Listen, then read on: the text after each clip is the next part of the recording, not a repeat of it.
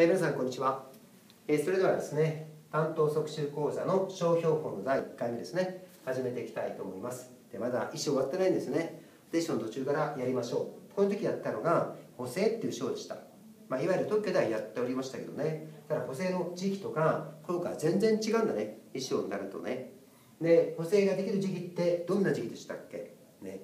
特許だったらファーストアクションまで自由にできますよって話になるんだけどちょっとこれ違うんだよね。審査審判再審継続中にできるんだよね。ここね。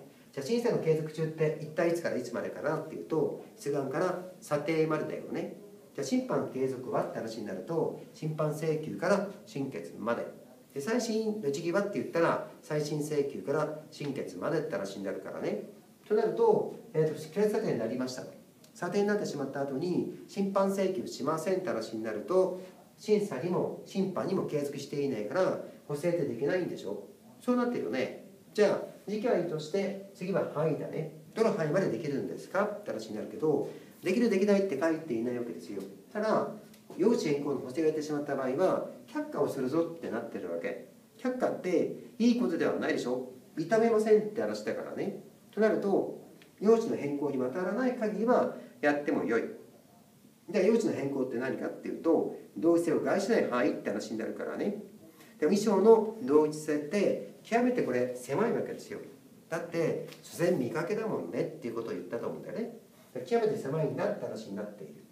じゃあ客観になってしまった場合主眼認定どうするんでしょうと。これ選択肢が3つあったね。まずは、えーと、全全面的に争うんだってことでやる。補正却下不服審判って話になるんだけどただこれは通常うまくいかないんだよね。あの審査官もめくらめっぽをやってるわけではありませんのでちゃんと見てやってるわけですよ。それも所詮見かけでありますんで変わったなと言ったら絶対変わってるわけですよ。となると争っても難しいんだよね。じゃあ次にやるもの何やるのかっていうと選出眼でしょ、ね。まあ、通常これやると,、えー、補正後の内容で完全訴求ではないんだけど補正書を提出した日まで世界名が一部訴求するっていう意味では再度出し直すよりはいいって話になってるわけ。でもいずれも却下から3月以内じゃないとできませんって話になっておりますんでうっかり忘れちゃったっていう場合については再度出し直すしかないって話になるんだったよね。まあそのことをまあ書いていけば良いわけですよ。でちなみに今のはえっ、ー、と補正違反が登録前に分かってしまったっていう場合なんですね。じゃあもし登録になってしまった後で補正おかしいということが分かりましたと。通常特許だったら新規事項を追加であれば意義とか無効理由になるよね。じゃあ衣装の場合はそうなっていいんですかというとこれはいけないわけですよ。なぜかというと言ってみたら登録になった後の対処措置がないんだね。訂正とか訂正の請求はないんですよ。でこれに対して無効審判で無効にしますよって話になると極めて酷になってしまうからって話になりました。じゃあどうすることが妥当なのかなってことだけど補正を認めた後上上で訴求を封じたんだっていう構成をとってるんだね、まあ、一番ソフトランディングに持っていったんだって話になってました。あと分割ってやったよね。2条2章を含む出願については分割できるんでしょ。2条2章だね。でこの一番の論点はまず時期。これは補正ができる時期と同じ審査審判再審継続中に分割ってできるんだよね。そして分割をやりましたと。で分割をやってしまった後に、えーまあ、これここは訴求項になるんだけど最大の論点は完成品から分割ができるんですか？よく考えてみると車ってね、まあ、いわゆるフロントがあって、まあ、自動車の車体があって、えー、それから、えー、ハンドルがあってサドルがあってあとタイヤがあってということでパーツパーツで分解しようと思ったらできるわけですよ。だったら分割やってもいいんじゃないですか？っていうことがありそうだよね。でもいわゆるこれ認証以上包含する場合について分割って許容できるんでしょ？でも車ってあれ全体で1衣装なんだよね。パーツパーツの集合体っていう構成とっていませんってことだったよね。だからできませんって話になってました。でやっても構わないんだよ。やっても構わないんだけど分割の有効であるところの訴求項が封ざれちゃうんだよね。現地でスクラミを持って判断されちゃうって話になるんでやったって無意味なんだって話になるからね。あと組物ってあったね。これは何かというとセットもの。本来は1衣装1出願の原則といって1物品1形態ごとに出願書面って出すんだよね。でも ABC ってね物品があって全体で他の美観生じるんだっていうんだったらそこに一律が権利を認めるっていう構成を取ったのが首物ってやつだよね、うん、まあこれが認められてしまうと全体として衣装権発生となるわけ、ね、ただここは昔は論点があったわけだね。旧8条2項と登録、うん、旧8条2項の要件と権利行使のアンバランスと。でもこれは10年改正で旧8条2項を削除したことによって解消されたんだって申し上げました、まあ、これはしっかりと覚えておこうね。あと2種以上の物品であってと言ってるのが2条って変わったんだね。2種以上と2条って違うからね。2種と言ってる場合については種類が違くなかったらいけない。だから椅子 A と B で組み物にならないわけね。同じ種類だから。でも2条って話になると椅子 A と椅子 B でもなり得るんだよね。そうすることによって10歳しかなかった組み物っていう制度が56個に膨れ上がったんだって申し上げました。こんなことあったね。あと関連書ってありました。いわゆるバリエーションの衣装と作るんだね。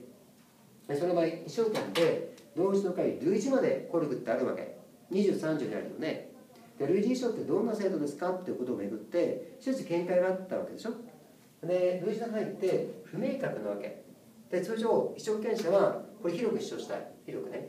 でその一方で第三者は狭く主張したい、まあ、これ一般的にそうなるね。じゃあどうしたらいいですかというとあらかじめ類似部分についてこういうふうに登録しておくことによって明確化するんだってことは誰も争っていないわけですよ。ただこれだけで終わってしまうものを確認せずと言ったんだね。でもこれを取っていたのは裁判所。信頼をやってる裁判所はこの見解を取っていたんだね。なぜかというと類似賞って確かに本書と一緒に出してもいいよ。